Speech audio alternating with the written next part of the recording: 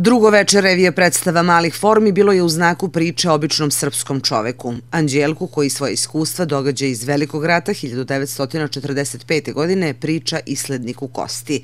Dvočasovna priča protekla je brzo jer je za nju bilo zaduženo troje sjajnih glumaca, Vesna Stanković, Srđan Ivanović i Milan Kalinić.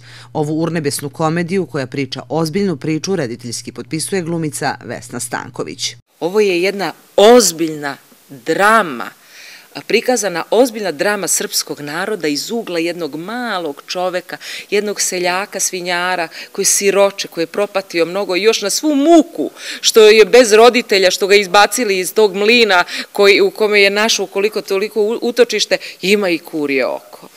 I e, zapravo je, to je ta gorčina koja negde e, ostaje i, i koje, daje tu neku, ali ajde to treba da napraviš tako da dramu ispričaš na taj način a da se ljudi smeju. Uloga Anđelka posebno je pisana za Srđana Ivanovića, koga ovdašnja publika najviše prepoznaje iz različitih televizijskih formata. Na briljantan način upoznala ga je kroz ovaj komand. Predstava treba da živi i nebo je granica, znači dokle ovo može da tera, ne znamo ni sami, e, nećemo se potrošiti, raspodelili smo tu energiju na duže staze, gluma inače maraton nije trka na 100 metara, ko zna šta će još Vesna napisati, tako da, kume, možda nešto iza tebe sad piše, tako da, takva je ona.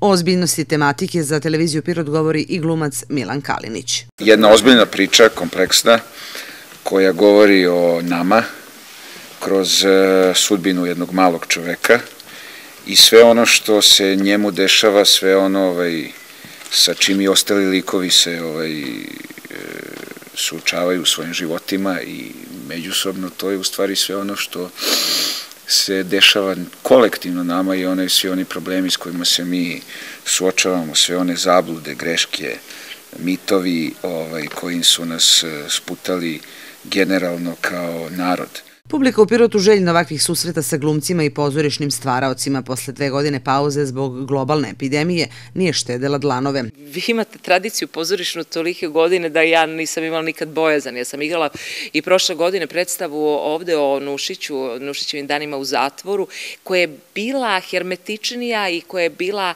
e, uvek je to malo problem s tim kako će to, jer je to posebna specifična forma i publika je to prihvatila Kao da sam im sve pisala crtice, e, a ovo se radi ovome, ovo se radi onome. Puna sala, a čujem da je sve dane rasprodata, i to je stvarno ovaj, u današnje vreme privilegija biti u mestu koji ima festival pozorišni, ta tradicija da se nastavi, da se ne gasi, bila je korona, to nas je onako, mislim da se na kulturu najviše odrazila, na sport definitivno nije, su bile pune i stadione i sale, a ovo je stvarno zadovoljstvo, puna sala. Predstava Ubi me kurije oko premijerno je odigrana 2015. godine. Komad u produkciji Balka Novi pokret tada je izveden u okviru obeležavanja 100 godina od prelaska naše vojske preko Albanije, odnosno u znak sećanja, na 28. novembar 1915. godine kada je održana sednica Vrhovne vojne komande na kojoj je odlučeno da se srpska vojska povuče u Grčku.